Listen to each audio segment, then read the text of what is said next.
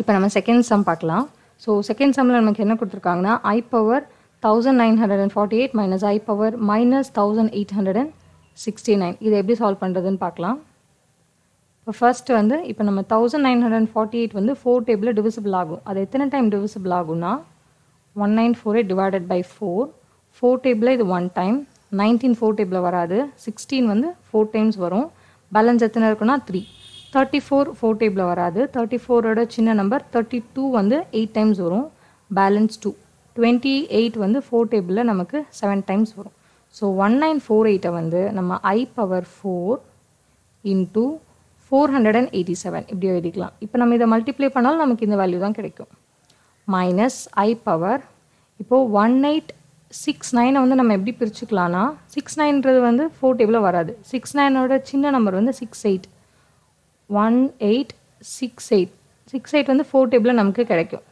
So balance எத்தனை? Balance இன்னொரு நம்பருக்கு மைனஸ் ஒன்னு எழுதிக்கலாம். ஸோ இந்த மைனஸ் வந்து காமனாக ரெண்டு நம்பருக்குமே நம்ம எழுதிக்கணும். ஓகே இப்போ அடுத்து வந்து ஐ power ஃபோர்னோட value one so one power இங்கே four hundred and eighty seven minus i power இங்கே இதை வந்து நம்ம ஃபஸ்ட்டு பிரித்து எழுதிக்கலாமா? Minus one eight six eight into i power minus ஒன்னுன்னு எழுதிக்கலாம். இது ஒன்னுடைய பவர் வந்து ஒன் தான் கிடைக்கும் நமக்கு. மைனஸ் ஐ பவர் இப்போ ஒன் எயிட் சிக்ஸ் எயிட்டை வந்து நம்ம எத்தனை டைம்ஸ் டிவிசிபிள் ஆகுதுன்னு பார்க்கலாம். One eight six eight divided by four four table இது ஒன் டைம் எயிட்டீன் வராது. எயிட்டீனோட சின்ன நம்பர் சிக்ஸ்டீன் வந்து ஃபோர் டே ஃபோர் டைம்ஸ் வரும். Balance two so twenty six வந்து ஃபோர் டேபிளில் வராது. டுவெண்ட்டி சிக்ஸோட சின்ன நம்பர் டுவெண்ட்டி ஃபோர் அது வந்து நமக்கு சிக்ஸ் டைம்ஸ் கிடைக்கும்.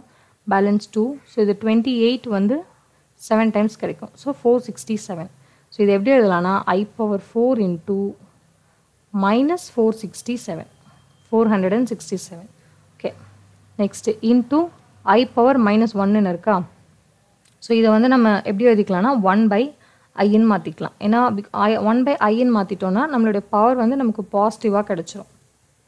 சரிங்களா? இப்போ next one minus I power four என்ன one one power minus four hundred and sixty seven into இங்கே ஒன் பை ஐன்னு இருக்கு இல்லையா? ஸோ ஒன் பை ஐக்கு ஒரு வேல்யூ இருக்குது ஒன் பை ஐனா நம்ம மைனஸ் ஐன்னு எழுதலாம். ஸோ இங்கே ஒன் பை ஐக்கு மைனஸ் ஐ எழுதிக்கலாம். நெக்ஸ்ட்டு ஒன் மைனஸ் இப்போ ஒன்னோட ஒன்னோடைய பவர் வந்து minus four hundred and sixty seven so இந்த ப்ளஸ் ஒன்னை நம்ம எத்தனை வாட்டி மல்டிப்ளை பண்ணாலும் நமக்கு ஆன்சர் வேல்யூ வந்து ஒன் தான் கிடைக்க போகுது. ஸோ இன்ட்டு ஒன் எழுதிக்கலாம்.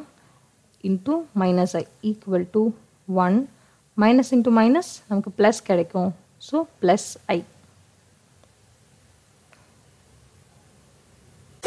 வாவ் எல்லாம் நல்லா இருக்குங்க. ஆனால் எப்படிங்க வாங்குறது நான் இதை? அப்படின்னு கேட்குறீங்களா ரொம்ப ஈஸிங்க. W W dot edu dot கைகோரு டாட் காம் இல்லை வெப்சைட்ஸில் போயிட்டு கைகோர் எஜுகேஷன் அப்படின்னாலும் எங்கள் வெப்சைட் வந்துடும் அதில் ஈஸியாக நீங்கள் பே பண்ணி வாங்கிக்கலாம். அது மட்டும் இல்லைங்க அமேசான்லேயும் இருக்கும். அமேசான் லிங்க்கு நாங்கள் வந்து இந்த வீடியோ டிஸ்கிரிப்ஷனில் போடுறோம். அமேசானில் போயிட்டு சமச்சீர் கல்வி கைகோர் எஜுகேஷன்னு டைப் பண்ணாலும் எங்களோட ப்ராடக்ட் வந்துடும் லோவஸ்ட் ப்ரைஸில் ரொம்ப ஈஸியாக கற்றுக்க கைகோர் எஜுகேஷன்